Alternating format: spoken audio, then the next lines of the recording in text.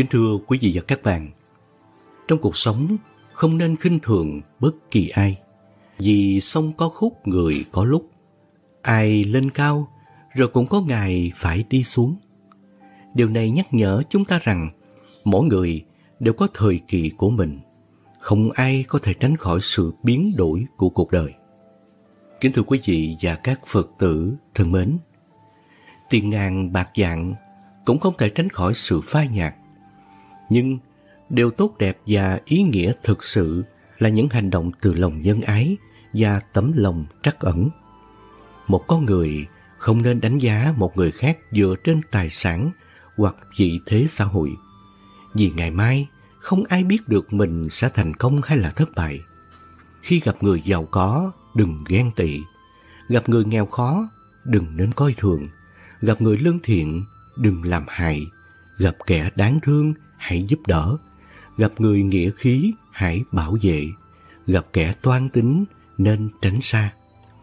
Điều quan trọng là lòng nhân từ và sự tôn trọng đối với mọi người. Ở đỉnh cao của thành công, đừng bao giờ tự mãn, vì một khi bạn bắt đầu ngã về phía dưới, có người mới sẽ thay thế vị trí của bạn. Sự khiêm tốn và kiên nhẫn luôn là chìa khóa để duy trì và phát triển trong cuộc sống.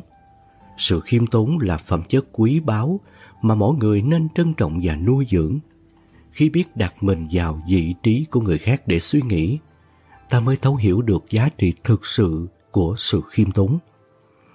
Dù bạn có tài năng và thành tựu lớn lao đến đâu, đều không đảm bảo rằng mọi người có thể luôn ở bên cạnh bạn. Sự giàu có và quyền lực không phải là yếu tố quyết định khiến mọi người yêu mến hay là tôn trọng bạn được. Trái lại, sự khiêm tốn và sự đồng cảm mới là những điểm đến mà người ta thực sự quý trọng. Dù bạn có năng lực ra sao, cũng không bảo đảm rằng mọi người đều sẽ ngưỡng mộ và kính trọng bạn. Sự tôn trọng đến từ lòng chân thành và sự kính trọng đến từ sự hiểu biết về giá trị bản thân và người khác. Tự tin là điều rất tốt, nhưng không nên tự phụ. Điều quan trọng không phải là mình thấy mình quan trọng, mà là mọi người cảm nhận được giá trị của bạn. Dù bạn có địa vị cao, có mối quan hệ xã hội rộng lớn và ăn nói khéo léo, nhưng không phải ai cũng muốn làm quen với bạn. Bạn làm thế nào để thu hút lòng tin và sự tôn trọng từ mọi người, không chỉ bằng cách phô trương gì thế, mà còn bằng cách thể hiện tấm lòng và sự đồng cảm. Chúng ta thường dễ mắc phải sai lầm là tự tin quá mức, cho rằng mình cao hơn người khác. Nhưng đời người còn rất dài và chưa ai có thể biết chắc được ai sẽ thành công hơn ai. Đừng bao giờ quá tự phụ, vì cuộc sống không ai lại dễ dàng cười người cũng như cười mình. Tôn trọng người khác cũng là tôn trọng chính bản thân mình. Trong một thế giới luôn biến đổi, điều quan trọng nhất vẫn là giữ vững tâm lòng khiêm nhường và lòng lương thiện. Dù thế giới thay đổi ra sao, dù người khác đối xử với bạn ra sao, xin hãy nhớ rằng không bao giờ xem thường bất kỳ ai. Khiêm nhường và lương thiện lại là hai phẩm chất quý báu, không chỉ giúp ta tạo ra môi trường sống hòa bình và hạnh phúc, mà còn giúp ta thu hút sự tôn trọng và lòng tin từ mọi người xung quanh. Nếu bạn có thể duy trì được những phẩm chất này, cuộc sống của bạn sẽ chắc chắn đầy đủ và hài lòng. Trong cuộc sống ngắn ngủi của chúng ta, hãy học cách không tranh cãi và để cho nhân quả trả lời. Mấy chục năm thoáng chốc chỉ là cát bụi trong vũ trụ bao la này. Và có người đối với nhau lại thường xuyên ganh đua, đấu đá trong cuộc sống vật chất và danh lợi. Bằng cách tranh cãi ganh đua, ta chỉ hao tâm tổn trí mà thôi. Cuối cùng, khi cuộc hành trình đến hồi kết, chúng ta không mang theo được gì ngoài những gì đã trải qua và những gì đã để lại cho thế giới này. Hãy học cách sống bằng lòng từ bi và tôn trọng để mỗi hành động của ta là một hạt giống tốt đẹp gieo vào thế giới này. Để những gì ta để lại sau lưng là dấu ấn của tình thương và sự hiếu kỳ, thay vì là vết tích của cuộc tranh đấu và ganh đua vô ích. Hãy để cho nhân quả trả lời và hãy sống với ý thức về sự ngắn ngủi của cuộc đời để ta biết trân trọng mỗi khoảnh khắc và dành thời gian cho những điều quan trọng nhất. Trong cuộc sống, có lẽ chúng ta đã nghe nhiều câu tục ngữ như có lương thực ngàn gánh cũng chỉ ăn một ngày ba bữa, hay có căn nhà lớn 10 tầng cũng chỉ ngủ ở một gian. Những câu nói này không chỉ đơn giản là nhắc nhở về sự khiêm nhường, mà còn là bài học về ý thức và sự tạm bợ của cuộc sống. Dù có vinh qua phú quý, dù sống trong những biệt thự xa hoa, nhưng cuộc sống vẫn không thể tránh khỏi những buồn phiền và khó khăn. Mỗi ngày, người ta vẫn phải vất vả làm việc hàng ngày, nhưng cuối cùng, dính qua cũng chỉ là thoáng qua như mây khói. Tại sao chúng ta lại phải tranh giành, đấu đá lẫn nhau khi cuối cùng tất cả đều như giấc mộng phù du? Cuộc sống không chỉ là về việc tích trữ vật chất và danh vọng, mà còn là về việc trân trọng những giá trị đích thực như tình thương, sự hiểu biết và lòng biết ơn. Hãy sống với ý thức về sự tạm bợ và không chấp nhận của cuộc đời. Và hãy biết đặt giá trị đích thực vào những điều không thể mua bằng tiền bạc. Đó mới là cách để chúng ta thực sự tìm thấy ý nghĩa của cuộc sống và để chân thực với bản thân mình. Kính thưa quý Phật tử, quý thính giả thân mến, trong thế giới ồn ào và hỗn loạn này, chúng ta không thể phủ nhận sự hiện diện của lừa dối, gạt gẫm, oán trách và đố kỵ. Những điều này đều là kết quả của sự tranh giành, một cuộc chiến không ngừng nghỉ giữa con người với nhau. Tranh giành không chỉ xuất hiện ở bề mặt trong những cuộc cạnh tranh công khai, mà còn ẩn hiện trong sâu thẳm của tâm hồn, trong những cuộc tranh giành âm thầm không lời nói. Chúng ta tranh giành cho lợi ích lớn, cho những lợi ích nhỏ. Ngày hôm qua, ngày hôm nay và có lẽ ngày mai vẫn sẽ tiếp tục như vậy. Nhưng rốt cuộc rồi, liệu chúng ta đã suy nghĩ về ý nghĩa thực sự của cuộc đấu tranh này? Tất cả chỉ để thỏa mãn tâm ích kỷ của chính bản thân mình, chỉ để đạt được những lợi ích cá nhân mà thôi. Vậy, hãy dừng lại, hãy tỉnh thức và nhìn vào chính mình. Chúng ta cần thấy rõ rằng sự hòa bình và lòng biết ơn mới là điều quan trọng nhất trong cuộc sống này. Hãy dừng lại với sự tranh giành vô ích để tìm kiếm sự hài lòng và hạnh phúc từ những hành động từ bi và tình thương. Khi tấm lòng rộng mở một chút, chúng ta sẽ cảm nhận được một khung cảnh mới, một không gian không còn chỗ cho sự tranh giành tồn tại. Bởi khi lòng người được mở ra, sự hiểu biết và lòng từ bi sẽ tràn ngập, làm tan biến bất kỳ đám đông nào của sự tranh đua và khao khát lợi ích cá nhân. Xem nhẹ được mất hơn thua một chút, chúng ta sẽ hiểu rằng cuộc đời không phải chỉ là về việc chiến thắng hay là thất bại, mà còn về việc hiểu biết và học hỏi từ mọi trải nghiệm nữa. Khi chúng ta không còn đặt quá nhiều giá trị vào việc tranh giành vượt trội, sự hòa bình và sự hài lòng sẽ trở nên quan trọng hơn. Mong cầu giảm bớt một chút, mong cầu sự thanh thản và bình yên trong lòng. Chúng ta sẽ nhận ra rằng sự tham lam và sự ganh đua chỉ làm cho cuộc sống trở nên căng thẳng và không hài hòa được. Khi chúng ta dừng lại để đánh giá lại giá trị của sự tự do và hạnh phúc, mong cầu giảm bớt tranh giành sẽ trở thành điều hiển nhiên. Tranh giành sẽ không trỗi dậy khi chúng ta xem nhẹ tâm danh lợi một chút, khi lòng từ bi và lòng lương thiện được kích thích, không có gì có thể đánh bại được sức mạnh của tình thương và sự chia sẻ. Chúng ta sẽ nhận ra rằng trong sự cho đi và chia sẻ, chúng ta thực sự tìm thấy ý nghĩa và hạnh phúc trong cuộc sống này.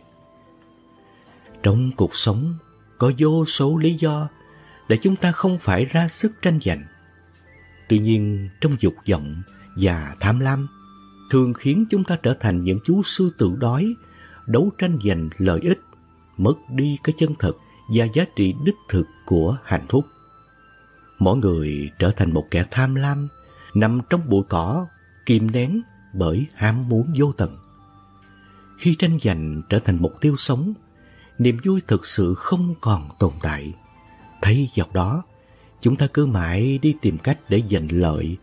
Những điều này chỉ dẫn đến sự mất mát và cảm giác không bao giờ đủ.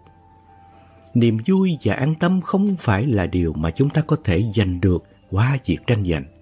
Thậm chí, đôi khi, sự cố gắng đó chỉ mang lại phiền não, thống khổ, thù hận và mệt mỏi về cả thể xác và tinh thần.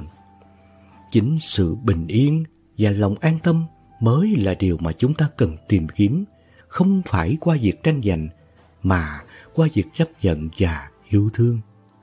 Cuộc sống không chỉ là một cuộc đua để giành được nhiều hơn người khác, mà còn là hành trình để hiểu và trân trọng những gì mình đã có, để sống trong sự thấu hiểu và lòng biết ơn.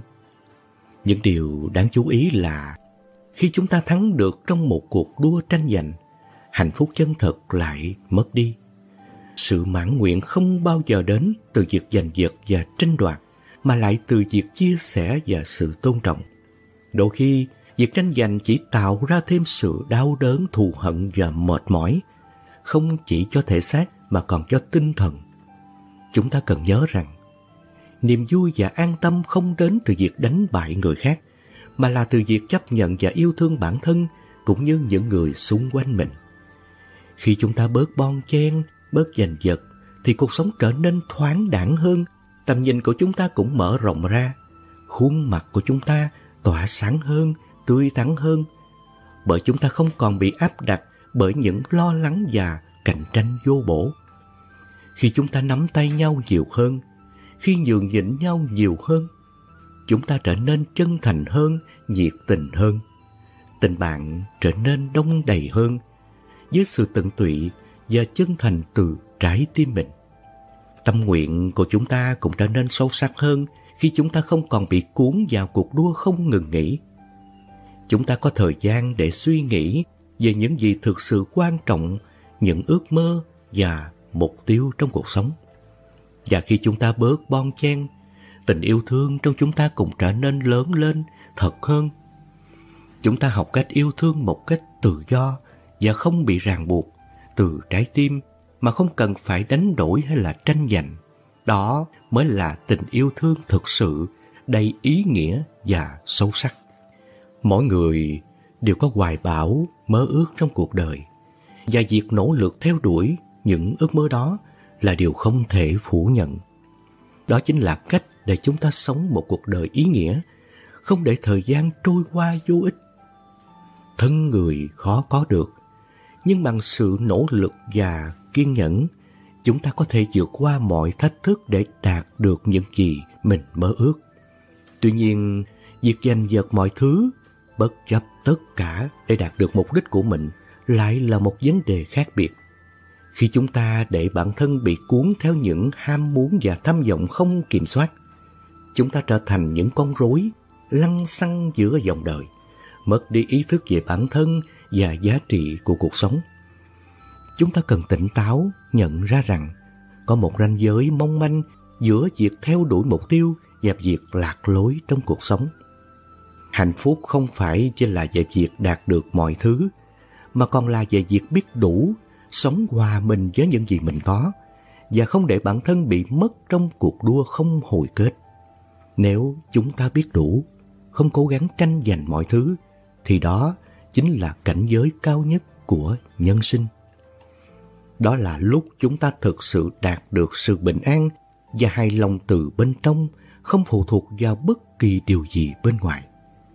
Họa phúc tài miệng và bốn khẩu nghiệp gánh cả đời không hết. Như Đức Phật đã từng dạy, là một trong những chân lý sâu sắc về cuộc sống mà chúng ta nên lắng nghe và thấu hiểu.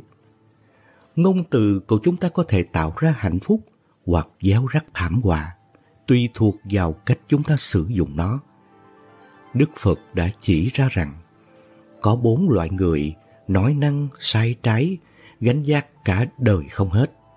Loại người thứ nhất là giọng ngôn, thứ hai là ba phải, thứ ba là thiện ngữ, thứ tư là xảo ngữ. Những ai nói năng không thành thật, mắc phải những lỗi trên sẽ gánh chịu họa từ miệng mà ra, không chỉ làm tổn thương người khác mà còn tự tạo ra những tâm kết gánh nặng cho chính bản thân mình.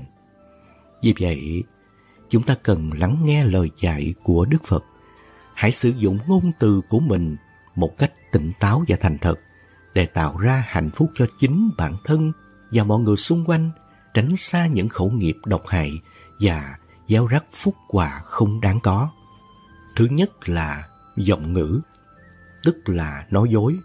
Nói không có căn cứ, không chỉ là một việc làm sai trái, mà trong Phật giáo nó còn được coi là một trong những tội nghiệp nặng của con người. Mở miệng ra là nói dối, không chớp mắt, nói dối đến mức quen miệng là hành động nguy hiểm và đáng ngại. Những người thường xuyên nói dối có thể thấy thường ngày họ dường như thuận lời, không cần suy nghĩ và thậm chí không còn nhận ra rằng chính họ đang nói dối. Điều này thực sự nguy hiểm, khiến cho họ rơi vào một dòng xoáy của sự không chân thành và mất mát tự tin.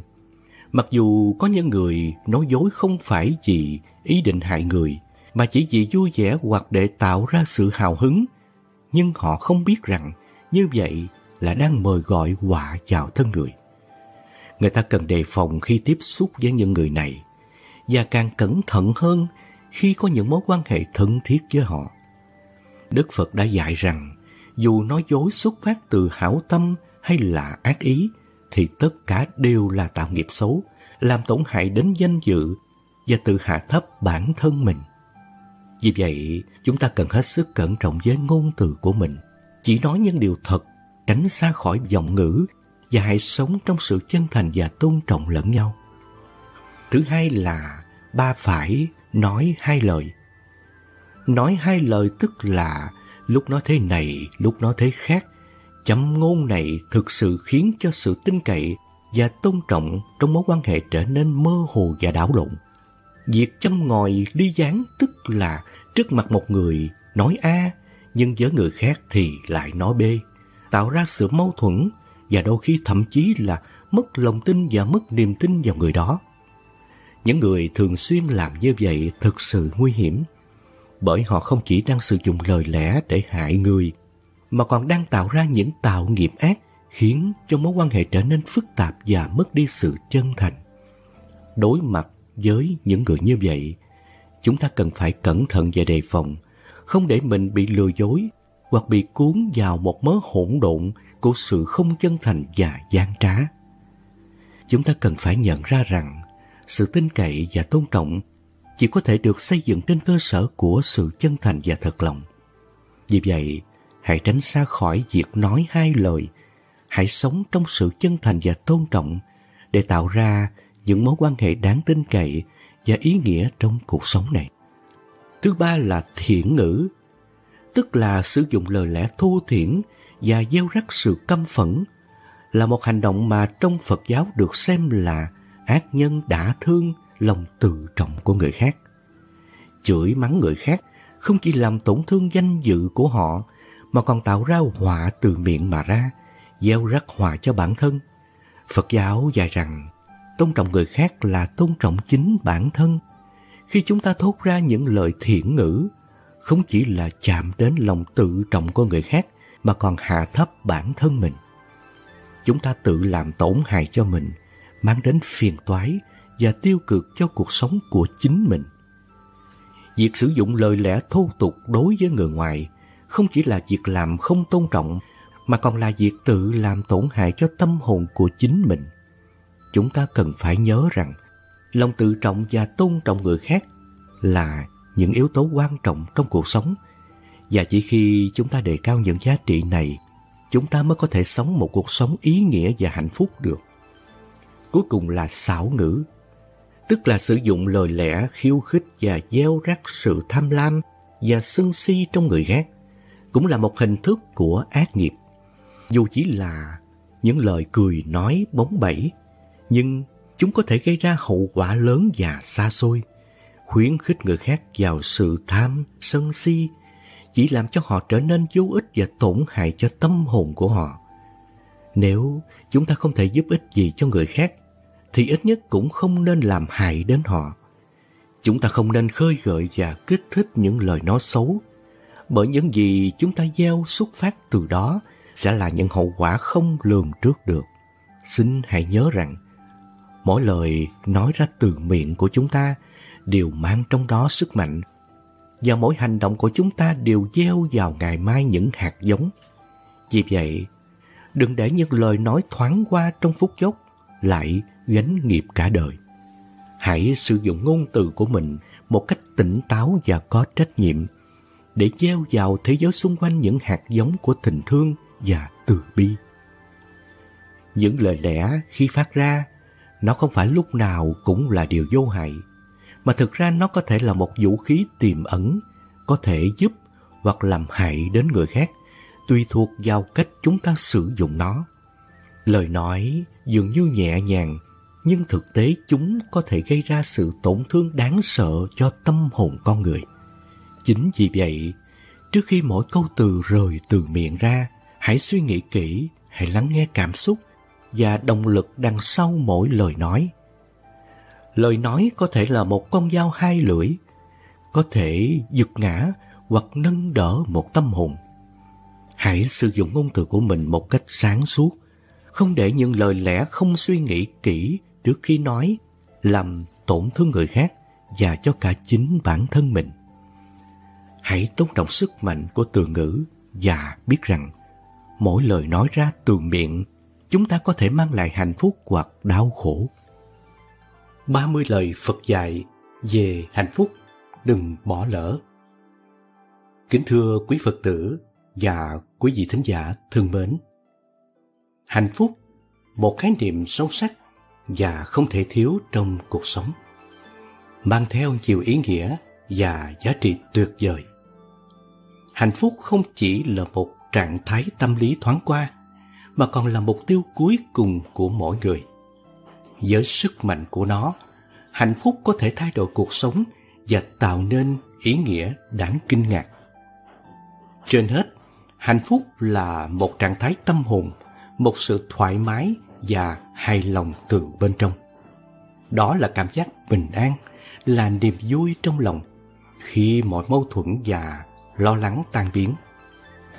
Hạnh phúc không phụ thuộc vào tài sản hay danh vọng, mà là kết quả của sự chấp nhận và trân trọng những điều tốt đẹp trong cuộc sống này. Hạnh phúc cũng là sự kết nối với thế giới xung quanh. Đó là khả năng tạo ra mối quan hệ tốt đẹp và yêu thương với những người xung quanh. Hạnh phúc không đơn độc, mà là sự chia sẻ và sự gắn kết với cộng đồng. Khi chúng ta tạo ra niềm vui và hạnh phúc cho người khác, chúng ta cũng đồng thời tìm thấy hạnh phúc trong chính mình. Hạnh phúc còn là sự phát triển và trưởng thành cá nhân. Nó đòi hỏi chúng ta không ngừng khám phá và phát huy tiềm năng của bản thân. Khi ta đặt ra mục tiêu và đạt được những thành công, cảm giác hạnh phúc vô tận tràn đầy trong tâm hồn. Sự hài lòng và thành tựu cá nhân mang lại một ý nghĩa sâu sắc và đáng giá cho cuộc sống này. Cuối cùng, hạnh phúc là khả năng sống trong hiện tại và tận hưởng từng khoảnh khắc. Đôi khi chúng ta dễ dàng bị cuốn vào quá khứ hoặc lo lắng về tương lai và quên đi sự tốt đẹp cùng giá trị của hiện tại. Hạnh phúc là khả năng trân trọng và sống đúng với từng giây từng phút mà cuộc sống mang lại. Sau đây là 30 lời Phật dạy về hạnh phúc. Thứ nhất, cho đi sự yêu thương, hạnh phúc tự tìm đường đến, lạc quan, vui vẻ, bệnh tật rồi sẽ qua đi. A Di Đà Phật. Thứ hai, dạng pháp duy tâm tạo. Con người là kết quả của những gì mình nghĩ. Nếu một người nói và làm với tâm trong sáng thanh tịnh, hạnh phúc sẽ luôn đi theo anh ta như hình với bóng.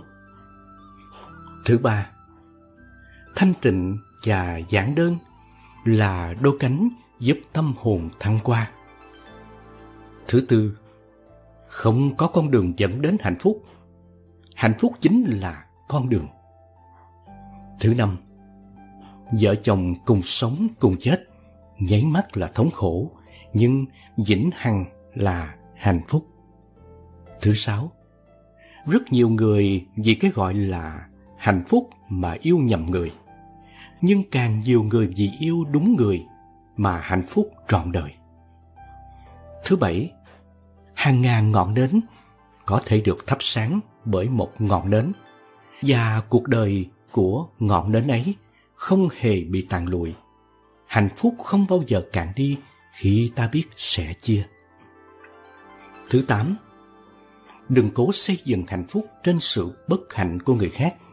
Bạn sẽ vướng vào lưới của hận thù. Thứ chín, hạnh phúc là cảm giác. Xem nhẹ chút, thoải mái trong lòng. Thứ mười, nhiều người cho rằng sự náo nhiệt là hạnh phúc, nhưng khi quá náo nhiệt sẽ không có bình yên. Hạnh phúc thực sự dựa trên sự bình yên. 11. Tâm thái là do rèn luyện, cần phải bình thản, có tấm lòng yêu thương. 12. Thời khắc hiện tại tràn ngập niềm vui và hạnh phúc. Chỉ cần bạn để tâm, bạn sẽ nhìn thấy chúng. 13. Cội nguồn của tình yêu nằm sâu trong mỗi chúng ta. Chúng ta có thể giúp người khác hạnh phúc. Một lời nói, một hành động, một suy nghĩ cũng có thể làm dơi đi nỗi buồn và tăng hạnh phúc cho người khác. 14.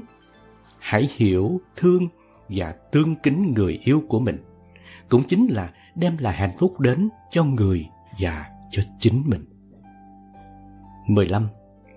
Hạnh phúc không phải làm dơ vào cho mình thật nhiều, mà ngược lại, bạn nên ban tặng, san sẻ những gì mình có cho người khác. Đó mới chính là hạnh phúc. Bản thân hạnh phúc, tức vận mệnh sẽ tươi đẹp. 16. Làm người phải biết vui vẻ, niềm vui và nỗi buồn luôn xen kẽ lẫn nhau. Vui vẻ có mức độ chính là cả đời được thanh thản. 17. Không đi đến cực đoan Đi đến cực đoan bao giờ cũng gặp thất bại thảm hại Phải chủ động tìm kiếm sự khôn ngoan của cuộc đời 18. Một trong những điều tốt nhất trong cuộc sống là nhận ra rằng bạn hoàn toàn hạnh phúc mà không cần đến những thứ mà bạn cứ ảo tưởng là mình buộc phải có. 19. Nguồn gốc của mọi khổ đau trên thế gian đều bắt nguồn từ tâm bám chấp. 20. Có sinh, ác có diệt. Có hợp, ác có tan. Có thịnh, ác có suy. Khi bạn vui, hãy hiểu rằng niềm vui này không phải là vĩnh hằng. Khi bạn đau khổ, cũng hãy nhớ rằng nỗi đau này cũng không trường tồn. Dạng pháp thế gian vốn vô thường. 21. Hạnh phúc không bao giờ đến với người không biết tri ân những gì mình đang có. 22. Hãy biết cảm ơn cả những nghịch cảnh. Mỗi một vết thương đều là một sự trưởng thành. 23. Quy luật nhân quả không chừa một ai. Hãy cẩn trọng trong từng suy nghĩ, lời nói và hành động của mình. 24. Đừng xem thường những điều nhỏ bé. Một đốm lửa nhỏ có thể thiêu rụi cả một khu rừng. Một con rắn nhỏ có thể khiến ta mất mạng. 25. Hàng ngàn ngọn nến có thể được thắp sáng từ một ngọn nến. Hạnh phúc được nhân lên khi được sẻ chia. 26. Không ai có thể mang lại hạnh phúc cho chúng ta ngoài bản thân mình. Mỗi người phải tự cất bước trên đôi chân của chính mình. 27. Là người biết hài lòng sẽ cảm nhận được hạnh phúc. Không biết hài lòng, mãi mãi không biết được hạnh phúc. 28. Kiềm chế và khắc phục được sự thèm muốn sẽ giải thoát con người ra khỏi mọi cảnh huống xảy ra. Dù đó là hạnh phúc hay khổ đau, sẽ mang lại sự bình an cho con tim và tâm thức của mình. 29. Đừng cố xây dựng hạnh phúc trên sự bất hạnh của người khác. Bạn sẽ dướng vào lưới của hận thù. Hãy cho đi, ngay cả khi bạn chỉ có một chút thôi. 30. Nói tôi yêu bạn có nghĩa là tôi có thể mang tới cho bạn sự bình yên và hạnh phúc. Để làm được điều đó, trước tiên, chính bản thân bạn phải là người có được những điều đó trước đã. Quả báo của việc hành hạ động vật Quả báo của việc hành hạ động vật rất nặng. Sinh vật nào cũng xứng đáng được sống. Đừng ý mạnh mà ức hiếp kẻ yếu. Bạn sẽ nhận nghiệp quả đắng cay. Thứ nhất, quả báo của việc hành hạ động vật.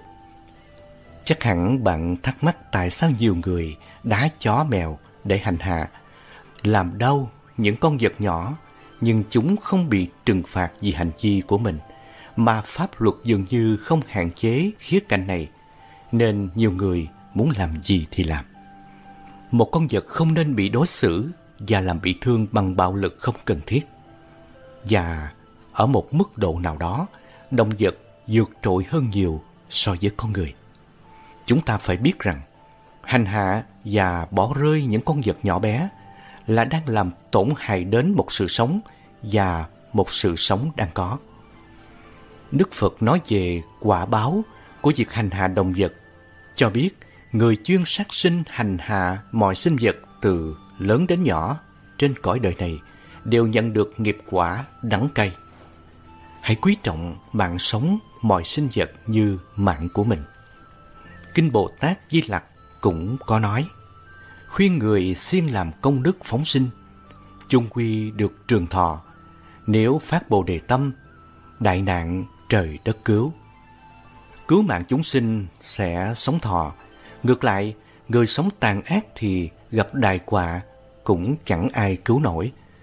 Phước không có mà nghiệp thì nhiều, nên sẽ liên tục gặp xui xẻo. Ác tâm và nhu cầu kiểm soát đối với động vật phản ánh trạng thái tinh thần của con người. Từ góc độ nghiệp lực hành vi của việc làm hại loài vật sẽ có nhân quả nghiệp báo kéo dài hơn một đời người. Có người ít khi nghĩ đến nghiệp chướng, cho rằng câu nói nhân nào quả nấy không có gì to tác. Nếu một người không làm hại người khác thì anh ta phải có phần thưởng. Tuy nhiên, nếu một người đã làm tổn hại rất lớn đến những sinh mệnh khác, bao gồm cả tinh thần, thể chất, tình cảm, thì chẳng bao giờ khá được. Làm gì thì gặp quả báo ấy gấp ba lần. Với những người đã từng làm điều ác nhất thì quả báo có thể gấp 10 lần. Đây là cái gọi là quy luật tự nhiên, rất hiệu quả, đã được chứng minh nhiều lần. Công lý luôn tồn tại đối với những kẻ có tư tưởng đi cuồng cho rằng mình có quyền làm hại bất kỳ sinh vật nào. Nghiệp chướng có thể không xuất hiện trong khoảng thời gian này, nhưng không có nghĩa là trong tương lai sẽ không xuất hiện, thậm chí còn nặng hơn. Như đã đề cập ở trên, vì có quá nhiều sự bất kính và tổn hại đối với động vật, nên quả báo có thể xảy ra ngay lập tức hoặc âm thầm bùng nổ, chậm nhưng dữ dội. Đây là sự trừng phạt của thần thánh và đây là công lý mà một người phải đối mặt khi khoe khoang về việc làm sai trái của bản thân. Hãy vui lòng suy nghĩ trước khi bạn đá đánh hành hạ sát sinh mèo chó hoặc những động vật khác. Trời biết đất biết bạn đang làm gì. Đừng tưởng tội mình phạm không bị phát hiện. Hãy tự tế với tất cả các sinh vật tôn trọng tất cả sinh vật.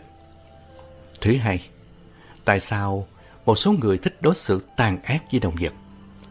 Sự xuất hiện của hành vi hung hăng chẳng qua là áp lực tâm lý, thất bại, cản trở hành vi có mục đích, môi trường sống thay đổi lớn bắt chước.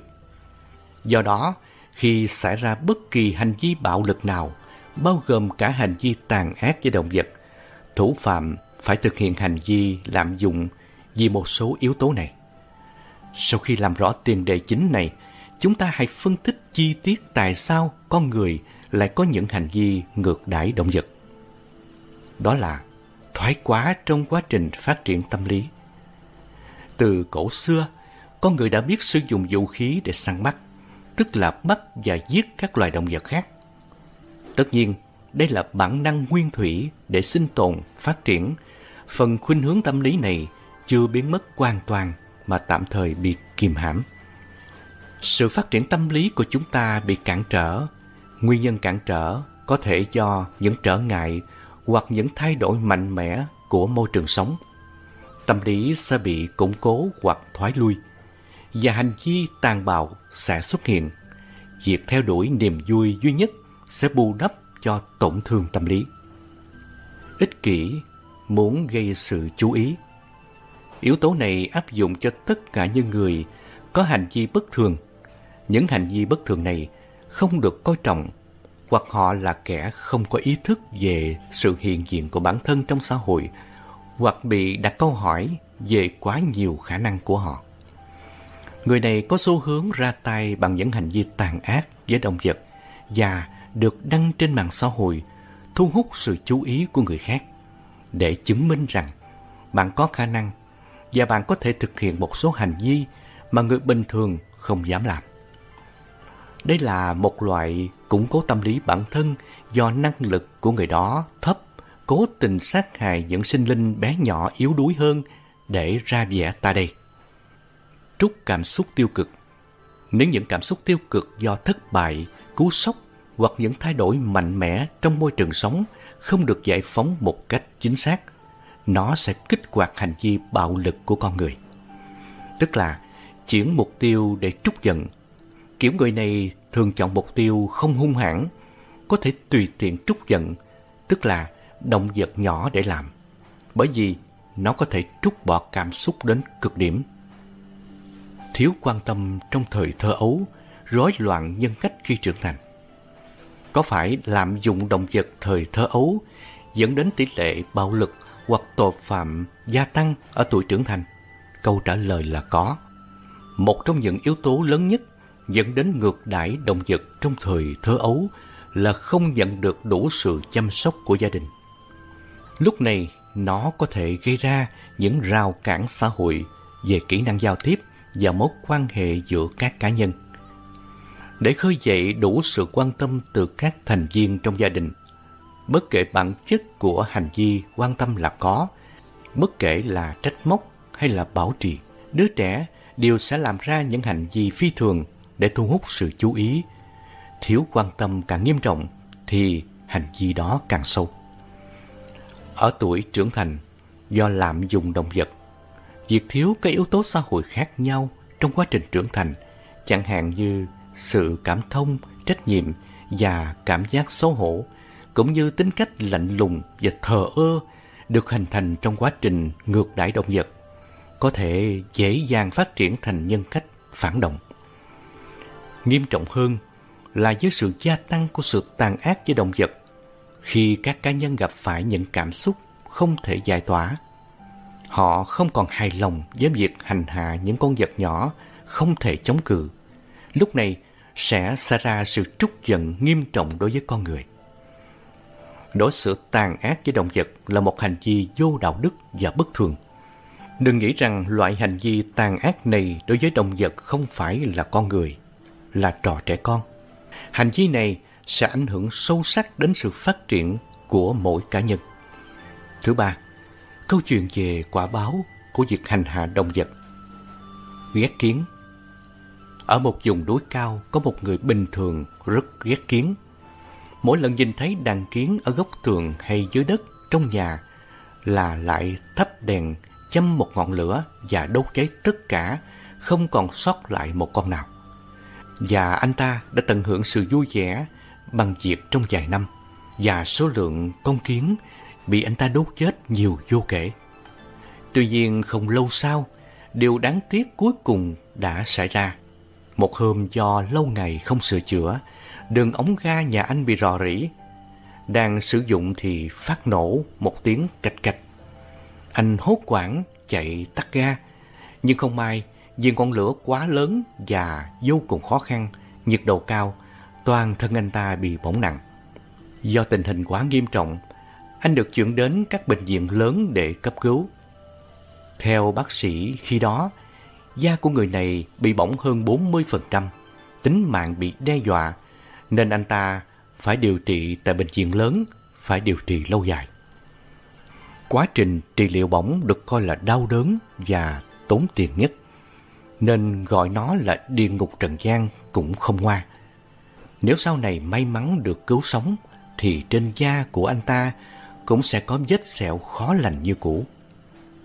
Gia đình mẹ con dượng Ngày xưa, có một người vào núi thấy một con dượng nhỏ bèn bắt đem về nhà. Dượng mẹ sau đó đuổi theo đến nhà của người đàn ông. Người đàn ông treo con dượng nhỏ lên một cái cây trong sân và cho nó xem. Dượng mẹ dùng móng vuốt dỗ vào má người đàn ông như thể đang cầu xin anh ta thả dượng con đi. Người đàn ông không để con dượng nhỏ đi và sau đó đánh chết con dượng nhỏ trước mặt con dượng mẹ. Dượng mẹ kêu lên thảm thiết, nhảy lên rất cao, rơi xuống đất và mất tại chỗ. Người đàn ông mổ bụng con dượng cái và thấy tất cả ruột đã bị đứt. Nhưng chưa đầy nửa năm sau, cả gia đình người đàn ông này đều mắc bệnh dịch. Không lâu sau đó cả nhà đều chết. Quả báo của việc hành hạ dượng đến với gia đình ông rất nhanh chóng. Hành hạ chim non Ngày xưa, ở một làng nọ, có gia đình sinh được ba người con trai. Tuổi đều đã gần hai mươi, chỉ biết đi mà không biết nói. Một hôm, bỗng có một người đi ngang qua cửa, thấy ba đứa con trai ở độ tuổi như vậy, nhưng vẫn không biết nói, dù cơ thể phát triển bình thường. Ông hỏi, đã có chuyện gì xảy ra với ba đứa trẻ này vậy? Chủ nhà trả lời, chúng là con trai tôi và chúng chưa biết nói. Vị khách nói, hãy tự ngẫm lại, tại sao chuyện này đang xảy ra? Trước đây, ngươi có từng hại động vật không? Người chủ nhà vô cùng kinh ngạc, suy nghĩ hồi lâu mới nói với người khách. Khi tôi còn nhỏ, trên đầu giường có một cái tổ chim. Trong đó có ba con én nhỏ. Mẹ của chúng tìm thức ăn từ bên ngoài cho chúng ăn. Và ba con chim nhỏ luôn há miệng. Ngày nào cũng vậy. Một hôm, tôi cho ngón tay vào tổ chim. Những chú chim non há miệng ra để xin thức ăn. Thế là tôi cho ba con chim non ăn thân cây hoa hồng gai. Tất cả ba con chim non đều chết hết vì ăn phải gai của hoa hồng. Bây giờ nghĩ lại tôi cảm thấy hối hận. Vị khách khuyên chủ nhà cùng gia đình thành tâm sám hối và chăm làm phóng sinh xuất phát từ tâm, không ăn thịt chim. Cả gia đình người đàn ông làm theo một thời gian dài thì bỗng dưng ba người con trai biết nói như người bình thường. Nam mô Bổn sư Thích Ca Mâu Ni Phật. Quý thính giả và quý Phật tử thân mến, trong hệ thống giáo điển Phật Đà, cả Nam truyền và Bắc truyền đều có những bài kinh, đoạn kinh nói về công ơn sinh thành, dưỡng dục của cha mẹ rất là cảm động. Cũng như có những trang kinh, Đức Phật chỉ dạy phương pháp báo đáp ân đức sâu dày đối với song thân một cách thiết thực nhất. Có ý nghĩa là Đức Phật đã chỉ bày cách báo ân chân chánh, hợp đạo lý, có lợi ích trong hiện đời và mai sau. Hãy nói một cách rõ hơn, Đức Phật đã đưa ra tiêu chuẩn đối với một người con được gọi là hiếu thảo, thì phải hội đủ cả hai mặt sự và lý. Sự là hình thức báo đáp bên ngoài và lo lắng chăm nom phụng dưỡng cha mẹ khỏi mọi điều thiếu thốn về vật chất. Luôn tôn trọng kính lễ cha mẹ và không được làm cho cha mẹ phiền lòng. Lý là chăm lo đời sống tâm linh cho cha mẹ, hướng cha mẹ phát khởi thiền tâm, gieo tạo phước lành, tu theo chánh đạo và làm sao cho cha mẹ hiểu rõ đường lành, tin sâu nhân quả, thoát ngoài dòng mê tín, ra khỏi luân hồi nghiệp báo, đạt được sự an lạc giải thoát trong hiện tại và tương lai. Nói cách khác là một đời sống hiền thiện chính là hiếu hạnh, là phát tâm báo ân, còn như làm điều ác, không tu dưỡng đạo đức là bất hiếu. Trong chương trình này hôm nay, chúng tôi kính mời quý vị và quý Phật tử cùng nghe lời Phật dạy về công ơn cha mẹ. Theo quan điểm của Phật giáo, thiện là không sát sinh, không trộm cắp, không tà dâm, không nói dối, không nói lời hai lưỡi, không nói lời ác độc, không nói lời phù phiếm, không tham, không sân, không si, có chánh kiến. Ngược lại là bất thiện. Mà tham sân si chính là gốc rễ của bất thiện. Cho nên, người tu học Phật Pháp phải thấy rõ điều này để biết cách áp dụng lời Phật dạy vào đời sống sinh hoạt của chính mình, để mỗi ngày bớt tham sân si, thăng tiến trên đường đạo. Được như vậy mới thực sự là người con hiếu đạo. Trong đạo Phật, vấn đề hiếu đạo được đề cập trong kinh tạng Pali của Phật giáo Nguyên Thủy và Hán tạng của hệ phái Bắc Tông như kinh Trường Bộ, kinh A Hàm, kinh Báo Ân, kinh Du Lan Bồn, kinh Hiếu Tử, kinh Tâm Địa Quán. Ở đây chúng tôi sưu tập lại một số ít trong rất nhiều pháp thoại Đức Phật thuyết về công ơn cha mẹ và cách thức đáp đền của con cái đối với cha mẹ, hầu chia sẻ cùng các bạn. Phật dạy rằng, cùng tột điều thiện không gì hơn hiếu, cùng tột điều ác không gì hơn bất hiếu. Trong kinh nhẫn nhục, từ vô lượng kiếp đến nay, chúng sinh lang thang trong nẻo luân hồi, bỏ thân này nhận thân khác, sinh đi sinh lại bao lần. Sữa mẹ mà chúng ta uống còn nhiều hơn nước trong bốn biển. Kinh tương ưng. Này các tỳ kheo, có hai người mà các thầy không thể nào đền ơn cho hết được, đó là cha mẹ. Nếu có kẻ dai trái cổng cha, dai phải cổng mẹ, đi xa ngàn dặm, cung phụng mọi thức ăn đồ mặc, chắn nệm và thuốc thang. Thậm chí cha mẹ có tiểu tiện trên vai đi nữa, cũng chưa trả được ân sâu cha mẹ. Các thầy phải biết ơn cha mẹ nặng lắm, bồng bế nuôi nấng, dưỡng dục đúng lúc, làm cho ta trưởng thành. Vì thế mà biết ơn đó khó trả. Do vậy, người con hiếu thảo muốn báo đáp công ân của cha mẹ đúng chánh pháp cần phải thực hành những việc sau đây. Nếu cha mẹ chưa có niềm tin, thì phải khuyến khích cha mẹ phát tâm tin tưởng tam bảo. Nếu cha mẹ sang tham, phải khuyến khích cha mẹ phát tâm bố thí. Nếu cha mẹ theo điều ác, phải khuyến khích cha mẹ hướng về đường thiện. Nếu cha mẹ theo tà kiến, phải khuyến khích cha mẹ trở về với chánh kiến. Làm được như vậy là trả ơn cha mẹ đúng với chánh pháp, khiến cha mẹ không những được an vui trong hiện tại, mà còn giao phước lành trong tương lai. Kinh Tăng Nhất A Hàm Cung kính và dâng lời cha mẹ, phụng dưỡng khi cha mẹ già yếu, giữ gìn thanh danh truyền thống gia đình, bảo vệ tài sản cha mẹ để lại, lo tang lễ chu đáo khi cha mẹ qua đời. Trong Kinh Trường Bộ vô thủy là luân hồi. Này các tỳ khéo, không dễ gì tìm được một chúng sanh trong một thời gian dài này lại không một lần nào làm cha mẹ, lại không một lần nào làm mẹ làm cha. Kinh tương ưng Tất cả người nam là cha của ta, tất cả người nữ là mẹ của ta. Bao nhiêu đời kiếp, ta từ đó mà sinh ra, nên chúng sanh trong sáu đường là cha mẹ của ta cả. Kinh Phạm Võng Này các thầy tỳ kheo, nếu người nào biết ơn và đền ơn, cho dù ở cách xa ta ngàn dặm, nhưng ta vẫn xem người đó như đứng hầu gần bên ta. Còn nếu như người nào không biết ơn và đền ơn, cho dù người đó có đứng hầu gần bên ta, nhưng ta vẫn xem họ cách xa ngàn dặm.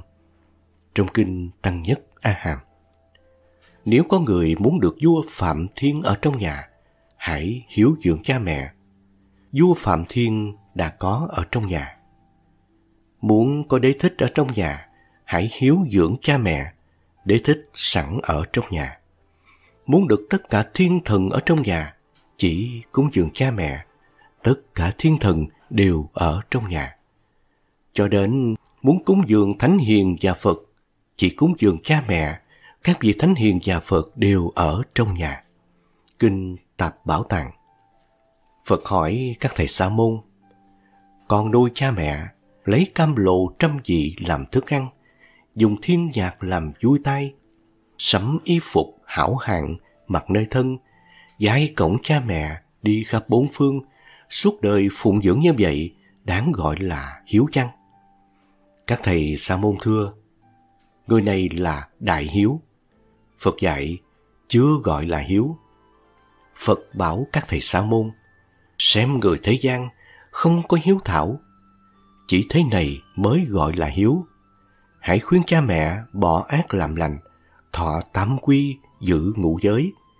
Dù cha mẹ sớm mai thọ trì quy giới, chiều về cõi chết, đối với ơn nặng cha mẹ nuôi dưỡng cũng gọi là tạm đền. Kinh Hiếu Tử Mẹ hiền còn sống là mặt trời giữa trưa chói sáng. Mẹ hiền khuất bóng là mặt trời đã lặn. Mẹ hiền còn sống là mặt trắng sáng tỏ. Mẹ hiền khuất rồi là đêm tối âm u. Kinh tâm địa quán Vui thay hiếu kính mẹ, vui thay hiếu kính cha, vui thay kính sa môn, kính bậc thánh, vui thay. Trong kinh Pháp Cú có hai hạng người này các tỳ kheo, ta nói không thể trả ơn được. Thế nào là hai? Là mẹ và cha. Nếu một bên vai cổng cha, một bên vai cổng mẹ, làm vậy cho đến trăm tuổi. Nếu đấm bóp, xoa nước tắm rửa, thoa gội, và dù tại đó có giải tiểu tiện, đại tiện như thế, này các tỳ kheo, cũng chưa làm đủ hay trả ơn đủ mẹ và cha. Vì cớ sao? Vì rằng, này các tỳ kheo, cha mẹ đã làm nhiều cho con cái, nuôi nấng, nuôi dưỡng con khung lớn, giới thiệu con vào đời. Kinh Tăng Chi một Làm con đối với cha mẹ, đem chút lễ mọn cúng dường thì được phước vô lượng. Trái lại, làm ít điều bất thiện đối với cha mẹ, tội cũng vô lượng. Kinh Tạp Bảo Tàng Thế Tôn lấy một ít đất để trên đầu ngón tay, rồi hỏi các thầy tỳ kheo. Đất trên đầu ngón tay ta nhiều, hay đất trên quả địa cầu này nhiều? Bạch Đức Thế Tôn, đất trên đầu ngón tay Như Lai so với đất trên quả địa cầu thì quá ít. Cũng vậy, này các tỳ kheo, những chúng sanh hiếu kính với cha mẹ thì quá ít như đất trên đầu ngón tay của ta. Còn những chúng sinh không hiếu kính với cha mẹ lại quá nhiều như đất trên địa cầu. Kinh tương ưng Những đứa con bất hiếu sau khi chết bị đọa vào địa ngục A Tỳ, lửa dữ thiêu đốt, ăn hoàng sắc nóng, uống nước đồng sôi, gươm đao, đâm chém, ngày đêm chết sống muôn lần, đến trăm ngàn kiếp không ngừng một giây. Sự hình phạt tại A Tỳ Ngục rất nặng nề, ngỗ nghịch song thân. Kinh Báo Hiếu Ta trong nhiều kiếp quá khứ, nhờ từ tâm hiếu thuận cúng dường cha mẹ, do công đức đó nên sinh lên các từng trời, thời làm thiên đế, xuống nhân gian làm thánh dương. Kinh Hiền Ngu Thuở Phật còn tại thế, có một vị chư thiên đến hỏi, Bạch Đức Thế Tôn, làm sao để có được dần may? Phật đáp rằng, phụng dưỡng cha mẹ là dần may tối thượng trong kinh hạnh phúc. Ta trải qua nhiều kiếp tu hành thành đạo là nhờ công ơn cha mẹ nuôi dưỡng. Kinh phân biệt. Thờ trời đất quỷ thần không bằng có hiếu với cha mẹ. Vì cha mẹ là hai vị thần minh cao nhất trong các thần minh. Kinh tứ thập nhị chương. Hiếu hạnh đứng đầu trăm hạnh tốt. Hiếu cảm đến trời thì mưa quà gió thuận. Hiếu cảm đến đất thì muôn vật quá sinh. Hiếu cảm đến người thì mọi phúc tăng trưởng. Ơn cha lành như núi Thái, nghĩa mẹ hiền sâu hơn biển cả. Nếu ta ở trong một đời, một kiếp, nói công ơn cha mẹ không thể hết. cha mẹ tại tiền như Phật tại thế, gặp thời không có Phật, khéo thờ cha mẹ, tức là thờ Phật vậy. Trong kinh Tâm Địa Quán, cha mẹ là Phạm Thiên, bậc đạo sư đời trước, xứng đáng được cúng dường, vì thương đến cháu con, do vậy bậc hiền trí, đảnh lễ và tôn trọng, dân thức ăn nước uống, giải mặt và giường nằm, thoa bóp cùng tắm rửa, giới sở hành như vậy, đời này người hiền khen, đời sau hưởng thiên lạc. Kinh hạnh phúc Thế Tôn lại bảo A Nan: Ơn cha nghĩa mẹ, mười phần phải tin. Điều thứ nhất, giữ gìn thái giáo. Mười tháng trường, chú đáo mọi bề. Thứ hai, sanh đẻ gớm ghê, chịu đau chịu khổ, mỏi mê trăm phần. Điều thứ ba, thầm ân nuôi dưỡng, cực đến đâu, bền vững chẳng lay. Thứ tư, ăn đắng, uống cay, để dành bùi ngọt đủ đầy cho con. Điều thứ năm lại còn khi ngủ, ước mẹ nằm, khổ ráo phần con. Thứ sáu, sú nước nhai cơm, miệng con no ấm, chẳng nhòm chẳng ghê. Điều thứ bảy, không chê ô quế, giặt đồ dơ của trẻ không phiền. Thứ tám, chẳng nỡ chia riêng, nếu con đi vắng, cha phiền mẹ lo. Điều thứ chín, miễn con sung sướng, dù phải mang nghiệp chướng cũng cam. Tính sao có lợi thì làm, chẳng mang tội lỗi, bị giam, bị cầm. Điều thứ mười, chẳng ham trao chuốt, dành cho con các cuộc thánh nhàn. Thương con như ngọc như vàng, ơn cha nghĩa mẹ, sánh bằng Thái Sơn. Kinh Báo Ân Này các tỳ kheo, sữa mẹ mà các thầy thọ nhận nơi người mẹ từ vô lượng kiếp đến nay còn nhiều hơn nước của đại dương. Quý thầy nên biết, sữa của người mẹ là những giọt máu kết tinh thành những dòng sữa ngọt truyền đạt qua cho con. Mỗi ngày, đứa con bụ bậm lớn lên đã rút tỉa tàn phá thân hình của người mẹ khô gầy, héo mòn, chết sớm cũng vì con. Kinh Tương ưng Người con nào giàu có mà không biết hiếu thảo phụng dưỡng cha mẹ, đó là cửa ngõ đưa đến bài dông. Kinh Đại Dân Người nào muốn báo ơn nghĩa to lớn của cha mẹ, không có cách nào hơn là phát tâm Bồ Đề, cầu giác ngộ, rồi tìm cách hướng dẫn người thân của mình và chúng sanh đồng phát tâm Bồ Đề. Đó là cách báo ân rốt ráo. Kinh Phương Tiện Phật Báo Ân Người con chí hiếu, dù có gặp đại nạn như tái trời ách nước, địa chấn, sẽ thoát hiểm một cách an toàn. Nếu giàu thì được hưởng trọn vẹn gia tài, không bị nghịch cảnh, chướng duyên, nội nghịch ngoại thù, lục vua phép nước, trộm cướp mất mùa. Nếu nghèo thì đời sống thanh sạch thanh nhàn, trời người yêu thương, danh thơm sông khắp, không bị cảnh nợ nần khổ sở, ít bệnh tật, được tăng tuổi thọ, sau khi chết được sanh thiên. Kinh hạnh phúc Giữa các loài hải chân, chánh giác là tối thắng. Trong các loài con cái, hiếu thuận là tối thắng. Kinh Lăng Chi Một Như bà viết, lời Phật dạy về công ơn cha mẹ, chúng ta đã thấy Đức Phật nói thật cụ thể rõ ràng về ơn cha nghĩa mẹ và những phương cách báo hiếu thông thường mà ai cũng có thể làm được. Rất mong rằng trong tất cả chúng ta đều ghi lòng tạc dạ, luôn nhớ nghĩ đến ân nghĩa sinh thành sâu dày, thâm trọng của cha mẹ để tìm cách đáp đền trong muôn một. Tiếp theo chương trình, chúng tôi xin kể cho quý vị và quý Phật tử nghe một câu chuyện cả trại giam bật khóc vì hai bao tải của mẹ.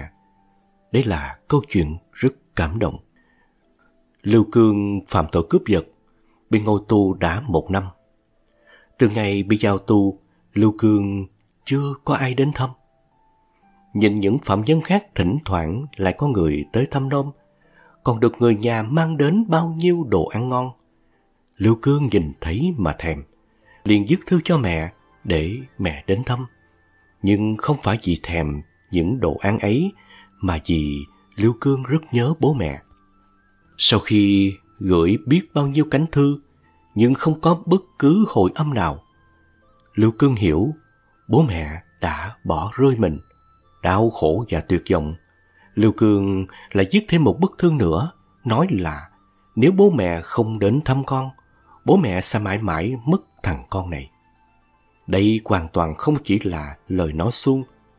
Những phạm nhân bị vào tù do tái phạm đã không ít lần lôi kéo anh vượt ngục. Nhưng Lưu Cương vẫn chưa hạ quyết tâm. Nay bố mẹ không còn thương xót, đoái hoài đến mình thì còn gì để lo lắng dẫn dương nữa. Hôm ấy trời lạnh đến buốt da buốt thịt, Lưu Cương đang bàn bạc với mấy đại ca đầu trọc về chuyện vượt ngục thì có người gọi giật lại. Lưu Cương, có người đến thăm. Là ai được nhỉ? Bước vào phòng thăm tù nhân, Lưu Cương đứng sừng lại. Là mẹ. Một năm không gặp, trong mẹ thay đổi nhiều đến mức con trai mẹ không nhận ra. Mẹ mới hơn 50 tuổi mà tóc đã bạc trắng đầu. Lưng mẹ còng như con thép nhỏ. Người mẹ gầy gò quá. Bộ quần áo mẹ mặc đã sờn rách. Mẹ đi chân trần, hằng cáo bẩn và loang lỗ vết máu. Bên cạnh mẹ là hai chiếc bao tải cũ. Hai mẹ con cứ thế đứng nhìn nhau. Chưa kịp đợi Lưu Cương mở lời, nước mắt của mẹ đã trực trào từ đôi mắt mờ đục. Mẹ vừa giơ tay lên quệt nước mắt, vừa nói Tiểu Cương à, mẹ nhận được thư con. Con đừng có trách bố mẹ nhẫn tâm. Thực sự là không có thời gian đi được con ạ. À. Bố của con lại ngã bệnh, mẹ phải chăm sóc bố con, đường thì lại xa xôi. Đúng lúc ấy, có anh quản giáo bưng đến cho mẹ Lưu Cương một bát mì trứng còn nóng hổi, nhiệt tình nói. Nè, bác ăn đi cho nóng, rồi lại nói chuyện tiếp ạ. À. Mẹ Lưu Cương dội đứng dậy, xoa xoa tay lên người nói, À thế này sao được? Quảng cháu đặt bát canh vào tay mẹ Lưu Cương, cười, nói, Ờ, mẹ cháu cũng tầm tuổi bác, mẹ ăn một bát mì trứng của con trai không được sao? Mẹ Lưu Cương không nói gì nữa, cúi đầu ăn sụp soạt. Bà ăn một cách ngon lành, nhưng mấy ngày chưa được miếng cơm nào vào bụng. Đợi mẹ ăn xong, Lưu Cương nhìn xuống đôi chân sưng đỏ, nước bao vết máu của mẹ, xót xa hỏi. Mẹ ơi, chân của mẹ sao vậy? Giày của mẹ đâu rồi ạ? À? Chưa kịp đợi mẹ trả lời, quản giáo liền tiếp lời. Vì bác đi bộ nên mới thế đó. Vậy của bác đã bị rách từ trước rồi. Đi bộ sao? Từ nhà đến đây phải mất ba bốn trăm dặm. Hơn nữa, đoạn đường núi rất dài. Liễu Cương từ từ cúi người xuống, khẽ xoa trên đôi chân của mẹ. Mẹ ơi, sao mẹ không bắt xe tới? Sao mẹ không mua giày mới? Mẹ vội thu chân vào, nói Sao phải bắt xe chứ? Đi bộ cũng tốt mà. Mẹ thở dài. Năm nay, lợn bị dịch. Mấy con lợn ở nhà đều chết hết rồi. Vụ mùa năm nay thu hoạch cũng kém. Còn bố của con á, đi khám bệnh cũng tốn bao nhiêu tiền. Bố con mà khỏe thì bố mẹ đã đến thăm con lâu rồi. Thôi, đừng có trách bố mẹ con nha. Anh quản giáo lau nước mắt, lặng lẽ rời đi. Lưu Cương cúi đầu hỏi, Thế bố con đỡ hơn chưa mẹ? Lưu Cương đợi mãi không thấy mẹ trả lời. Vừa ngẩng đầu lên, đã thấy mẹ đang lau nước mắt. Mẹ nói, Các bụi bay hết cả vào mắt của mẹ. Con hỏi bố con hả? Bố con sắp khỏi rồi. Bố con bảo với mẹ là nói với con là đừng lo gì cho ông ấy. Cố gắng mà cải tạo con ạ. À. Thời gian thăm phạm nhân đã hết. Quản giáo đi đến, trong tay cầm một ít tiền, nói Bác à, đây là chút tấm lòng của quản giáo chúng con. Bác không thể đi chân trần về được bác à.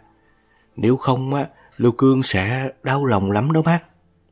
Mẹ Tiểu Cương xua tay nói Ôi sao thế được Con của bác vẫn còn ở đây Các cháu cũng đủ vất vả lắm rồi. Bác còn cầm tiền của các cháu thì tổn thọ cho bác lắm. Anh quản giáo run run giọng nói. Dạ, phần làm con á, đã không những không cho bố mẹ được hưởng phúc, lại bắt bố mẹ già cả phải lo lắng suy nghĩ. Để bác đi chân đất mấy trăm dặm đến đây, nếu lại để bác đi chân trần về á, thì thử hỏi người con này á, có còn là người nữa không bác? Lưu Cương không thể nói lại được gì, hét như xé giọng. Mẹ! Sau đó, không nói thêm gì nữa. Bên ngoài cửa sổ là tiếng khóc thúc thích. Anh quản giáo phai lùa đám phạm nhân đang cải tạo ra chỗ khác. Lúc này, có một người dám ngục bước vào, cố tình lãng sang chủ đề khác. Thôi đừng có khóc nữa. Mẹ đến thăm con trai là chuyện vui, đáng ra phải cười mới đúng chứ. Nào, để tôi xem bác mang đồ gì ngon đến nào. Vừa nói, người giám mục vừa cầm ngược bao tài xuống. Mẹ Lưu Cương không kịp ngăn lại. Mọi thứ ở trong bao rơi ra ngoài. Ngay lúc ấy, tất cả mọi người có mặt đều lặng người đi. Bao tài thứ nhất bị rơi ra. Toàn là bánh bao, bánh nướng, bị nứt toát thành bốn năm mảnh, cứng như đá, không cái nào giống cái nào. Không cần nói, cũng biết đây là đồ mẹ Lưu Cương đi ăn xin trên đường. Mẹ Lưu Cương lúng túng, hai tay túm lấy góc áo nói Con à, con đừng có trách mẹ đã làm như vậy. Quả thật là ở nhà không còn thứ gì có thể mang đi được nữa. Lưu Cương hình như không nghe thấy gì, chỉ chăm chăm nhìn vào chiếc bao tải thứ hai. Đó là một hộp tro cốt. Lưu Cương đang đứng ngẩn người, hỏi Mẹ, đây là cái gì thế mẹ? Mẹ Lưu Cương thất thần, hốt quảng, giơ tay ra ôm chặt lấy chiếc hộp. Không, không, ờ, không có gì đâu con. Lưu Cương giành lấy, giữ phát điên, toàn thân rung lên bần bật. Mẹ, đây là cái gì? Mẹ Lưu Cương ngồi phệt xuống như người mất hết sức lực. Mái tóc bạc khẽ lay động. Một lúc sau, bà mới gắn gượng nói Đây, đây là bố con đó. Dì gom góp tiền đến thăm con. Bố con đi làm quần quật không kể ngày đêm. Bố con bị gục ngã vì suy nhược. Trước khi chết, ông ấy nói khi còn sống không đến thăm con được. Ông ấy rất buồn.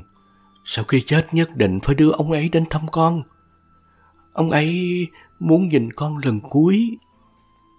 Lưu Cương gào lên một tiếng, như xé lòng xé ruột. Bố, con sẽ thay đổi. Nói rồi, anh quỳ sụp xuống, da mạnh đầu xuống đất. Bên ngoài phòng thăm bệnh nhân, phạm nhân lần lượt quỳ rạp xuống đất.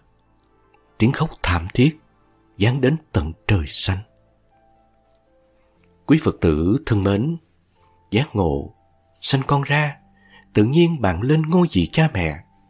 Ngôi vị đó được hình thành một cách tự nhiên, như nhiên và đôi khi kéo theo sự hoảng hốt, ngỡ ngàng đối với một số cá nhân. Vì họ chưa hề kịp chuẩn bị. Ai cũng bảo rằng cha mẹ là một thiên chức cao cả, thiện liêng. Thế nhưng thiên chức đó tự dưng hình thành hay do học tập rèn luyện? Thử hỏi, những bậc đã là cha mẹ kiến thức đó họ học được từ đâu? Hay vừa chăm con vừa kiện toàn thiên chức? Và những đôi trai gái đang đứng trước ngưỡng cửa hôn nhân, có mấy ai biết rõ làm cha mẹ phải hậu đủ những tiêu chuẩn gì để xứng đáng với phẩm vị mà nhân loại xưa nay luôn tán thán tôn vinh. Đành rằng có những tri thức mà con đường kiện toàn không nhất thiết phải thông qua trường lớp. Tuy nhiên, với những tri thức quan trọng có khả năng ảnh hưởng đến mình và những người yêu thương, đòi hỏi chúng ta cần phải có một thái độ nghiêm túc trong việc củng cố và kiện toàn. Tri thức làm cha mẹ là một trường hợp như vậy. Sinh con, nuôi lớn. Với đạo Phật làm cha mẹ là cả một quá trình dài. Ngay khi con cái vừa nhập thai, thì người mẹ cần phải giữ giới một cách hồn nhiên để đưa con sinh ra được kế thừa những phẩm chất tối thắng. Theo cách nói của Đức Phật, người mẹ khi mang thai cần phải cẩn trọng trong mọi bề. Thái quá hoặc bất cập trong ăn uống hoặc trong tâm tưởng đều không phù hợp với một người mẹ hoài thai. Sự cẩn trọng, quan tâm đến con là tư duy luôn thường trực trong suy nghĩ của một người mẹ. Quan tâm đó được đẩy lên thành một mối lo to lớn mà kinh gọi là sự lo âu lớn đối với gánh nặng và kéo dài liên tục, miên man sau 9 hay 10 tháng trường. Với con trẻ, phải tập trung cao độ mọi sự quan tâm của mẹ và cha. Vì chỉ cần một chút lơ là bất cẩn thì sức khỏe hoặc tính mạng của con trẻ sẽ rơi vào vùng nguy hiểm ngay. Thực tế, đã có những đứa trẻ lớn lên với những vết hằn năm tháng do sơ suất hoặc do lỗi lầm không cố ý của ba mẹ. Và ở đây, sự dằn vặt lương tâm sẽ là nỗi trăn trở khôn nguôi cho cả mẹ và cha mang theo đến cuối cuộc đời. Kinh được nuôi dưỡng tế nhị, mặc dù chỉ là sự mô tả khá chi tiết về việc vua tình phạn nuôi dưỡng thái tử Tất Đạt Đa, nhưng cũng là một gợi ý tham khảo cho bất cứ ai muốn nuôi con bằng tất cả những gì có thể. Và dù quý tộc hay là thứ dân, thức ăn cho bé sơ sinh thì xưa nay không gì bằng sữa mẹ. Kinh văn mô tả rằng khi đã sinh, người mẹ nuôi hài nhi ấy với máu của mình. Mà ở đây, theo luật của bậc thánh, sữa của bà mẹ được xem là máu. Máu của mẹ, con đã hấp thụ từ thuở ban sơ để con dương lên vững bước thành người. Dạy con nên người. Dạy dỗ con cái và giới thiệu chúng vào đời là một trong những trách vụ quan trọng của nhân bậc làm cha mẹ được Phật dạy trong Kinh Tăng Chi. Từ thực tế cho thấy có nhiều người sanh con ra nhưng chưa hề quan tâm đến vấn đề dưỡng dục. Chính vì vậy mà có những đứa trẻ lớn lên trong sự tủi nhục, trong khổ đau, khiếm khuyết và bất hạnh nhiều bề. Trời sinh voi sinh cỏ là một quan niệm không đúng theo tiêu chí dưỡng dục mà Đức Phật đã dạy trong kinh. Trong liên hệ rạch ròi của nhân quả, tiêu chuẩn dạy con tác động rất lớn đến sự hình thành những phẩm chất tích cực của một con người. Sánh con thì dễ, nhưng nuôi dưỡng và dạy dỗ chúng thành người là cả một nỗ lực vô bờ của cha và mẹ.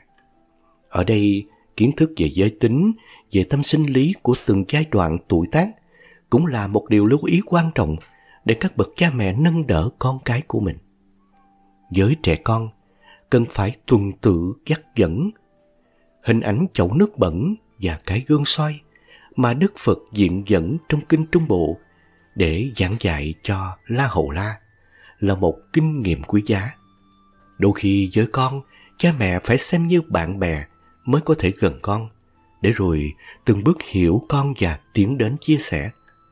Đó cũng là điều mà kinh gọi bạn ở nhà là mẹ là một điều cần học hỏi đối với các bậc làm mẹ, làm cha. Với con, hiểu được chúng muốn gì, cần gì khi con cái bắt đầu bộc lộ tự ngã bản thân là một lưu ý quan trọng.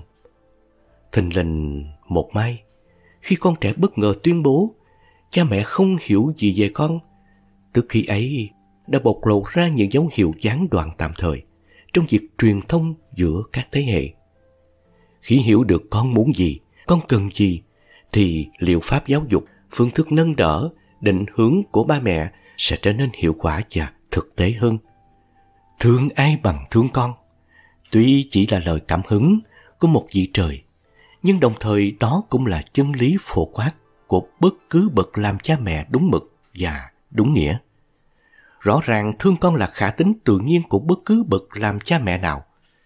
Kinh từ bi cũng xác chứng tình cảm của cha mẹ bao la, như tấm lòng người mẹ đối với con của mình, trọn đời lo che chở, con độc nhất mình sinh.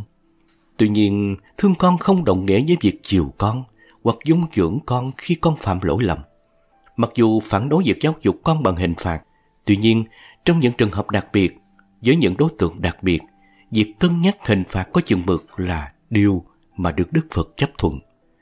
Hình ảnh một đứa trẻ bị mắc dị vật và người chăm sóc trẻ cố gắng lấy dị vật đó ra bằng những phương tiện có thể là điều mà Đức Phật lặp lại nhiều lần. Trong kinh Trung Bộ, Đức Phật đã hỏi Dương Tử Vô Quý, nếu đứa con nít này do sự vô ý của Dương Tử hay do sự vô ý của người chú hầu, thọc một cái que hay nuốt một hòn đá vào trong miệng, vậy Dương Tử phải làm gì?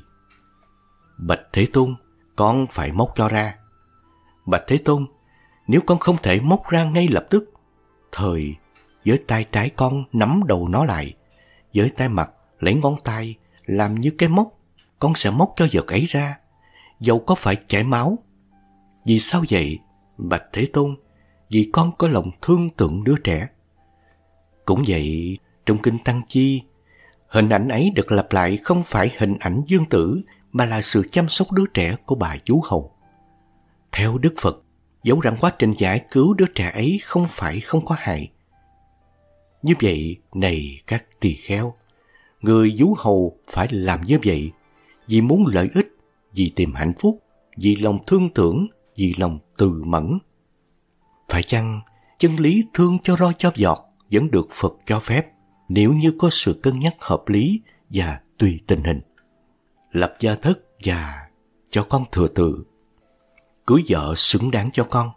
Đúng thời trao của thừa tự cho con là hai trách vụ quan trọng nhà Phật đã dạy bậc làm cha mẹ cần phải thực hiện khi con đến tuổi trưởng thành.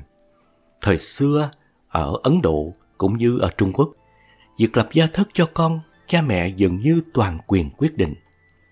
Ngày nay, bối cảnh xã hội đổi thay, trai gái tự tìm hiểu và tự do đến với nhau.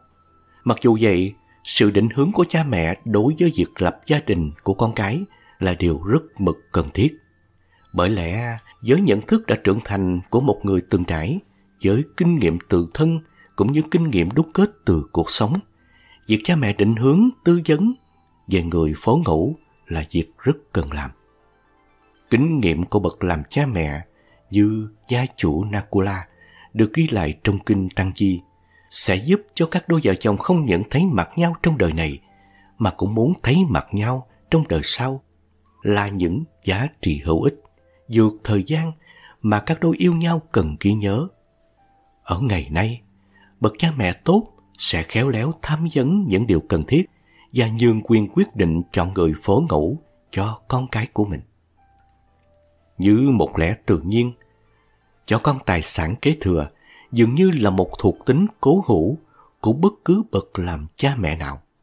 Ngay như Đức Phật trong chuyến trở về Hoàng Cung lần thứ nhất, La Hầu La nắm tay Phật cầu xin của thừa tự. Đức Phật đã quan hỷ chấp thuận bằng cách nhờ tôn giả xá lệ Phất xuất gia cho cậu ta. Với các bậc thánh, của thừa tự chính là chánh pháp. Với thế gian, của thừa tự chính là tài sản và những giá trị tinh thần. Ở đây, cần phải hiểu rằng của thừa tự cho con không hẳn là vật chất thuần túy hoặc tài sản cụ thể, mà có thể là phương cách tạo ra tài sản ấy. Trong hai phương diện thừa tự, việc trao cho con thừa tự sinh kế mà kinh gọi là dạy con nghề nghiệp là điều quan trọng và bền vững vô cùng. Bởi lẽ, tuy được thừa tự của cả vật chất, nhưng nếu như gặp phải nghịch tử thì gia sản mà cha mẹ để dành sẽ nhanh chóng tiêu tan. Kinh Tăng Chi cảnh báo tài sản sẽ bị nguy hiểm về các người thừa tự không khả ái. Do vậy, các bậc làm cha mẹ cần cân nhắc về vấn đề cho con của cải. Cho như thế nào, cho vào lúc nào, với số lượng bao nhiêu, cũng là điều cần phải căn cứ vào từng biệt nghiệp của các con và tùy tình hình cụ thể. Đừng để như bà La Môn, Sahasala, mặc dù là đại phú hào, sau khi chia của cho các con, phải chống gậy xin ăn vì các con đối xử với ông không tốt.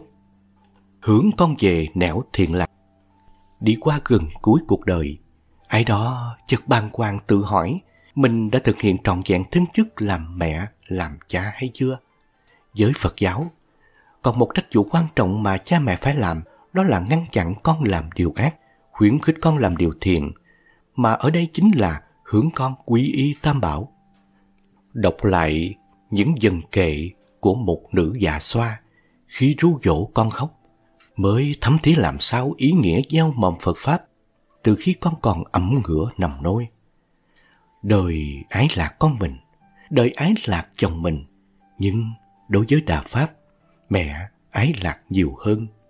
Con hay chồng chầu thân, không cứu ta thoát khổ, không như nghe diệu Pháp, chúng sanh được thoát khổ.